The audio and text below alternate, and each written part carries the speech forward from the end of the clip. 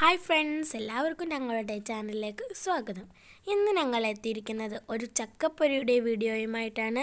അപ്പോൾ നമുക്ക് വീഡിയോ ഇട്ട് പോകാം. അതിനു മുമ്പ് ഞങ്ങളുടെ ചാനൽ ആദ്യമായിട്ടാണ് കാണുന്നതെങ്കിൽ സബ്സ്ക്രൈബ് ചെയ്യണേ.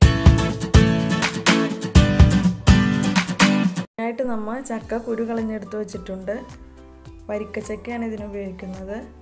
പിന്നെ ഇതിന്റെ മാവ് തയ്യാറാക്കാൻ വേണ്ടി ഒരു കപ്പ് മൈദപ്പൊടി രണ്ട് ടേബിൾ സ്പൂൺ അരിപ്പൊടി മൂന്ന് ടേബിൾ സ്പൂൺ പഞ്ചസാര.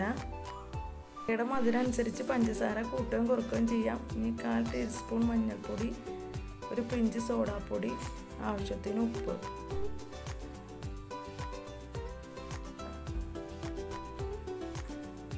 ഇനി എല്ലാം കൂടി നമുക്കൊന്ന് മിക്സ് ചെയ്തെടുക്കാം.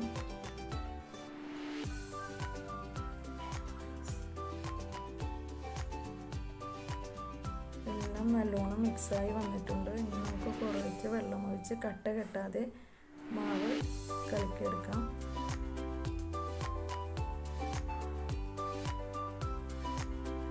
കുറച്ചും കൂടി വെള്ളം ഒഴിച്ച് മൊത്തം വെള്ളം ഒഴിച്ചാൽ മാവ് കട്ടയായി പോകും അതുകൊണ്ട് കുറച്ച് വെള്ളം ഒഴിച്ച് നമുക്ക് മാവ് കലക്കിയെടുക്കാം. അപ്പോൾ മാവ് കലങ്ങി വന്നിട്ടുണ്ട്. കൂടുതൽ കട്ടിയാവാനും പാടില്ല ലൂസാവാനും പാടില്ല. ഒരു പത്ത് മിനിറ്റ് മാറ്റി വയ്ക്കാം പത്ത് മിനിറ്റ് കഴിഞ്ഞിട്ടുണ്ട്. ഇതിലേക്ക് നമുക്ക് കുറച്ച് എള്ള് ചേർത്ത് കൊടുക്കാം. എള്ളും കൂടി ചേർത്ത് ഒന്നും കൂടി ഒന്ന് മിക്സ് ചെയ്തെടുക്കാം. ഇനി ഒരു പാൻ അടുപ്പത്ത് വെച്ച് പാൻ ചൂടായി വരുമ്പോഴത്തേക്ക് അതിലേക്ക് നമുക്ക് ഓയിൽ ചേർത്ത് കൊടുക്കാം. ഓയിൽ ചൂടായി വന്നിട്ടുണ്ട്. നമുക്ക് ചക്ക എടുത്ത് മാവിൽ മുക്കി ഓയിലിലേക്ക് ചേർത്ത് കൊടുക്കാം. ഇട്ട് കൊടുക്കാം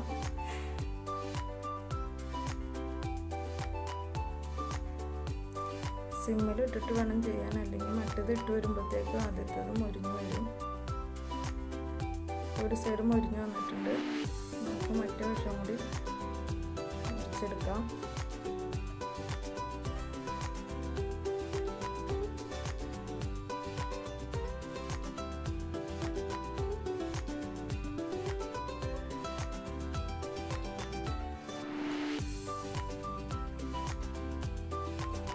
രണ്ട് സൈഡ് ഇവിടെ നല്ലോണം മൊരിഞ്ഞ് വന്നിട്ടുണ്ട്. ഇത് നമുക്ക് പാത്രത്തിലേക്ക് മാറ്റാം. ബാക്കിയുള്ള ചക്ക കൂടി മാവിൽ മുക്കി നമുക്കായി ഇട്ട് കൊടുക്കാം. ബാക്കിയുള്ളതും കൂടി ഇവിടെ ഫ്രൈ ആയി വന്നിട്ടുണ്ട്. അപ്പോൾ നമ്മുടെ ക്രിസ്പി ആയിട്ടുള്ള ചക്കപ്പൊരി ഇവിടെ റെഡി ആയിട്ടുണ്ട്. എല്ലാവരും ഇതൊന്ന് ട്രൈ ചെയ്ത് നോക്കാം.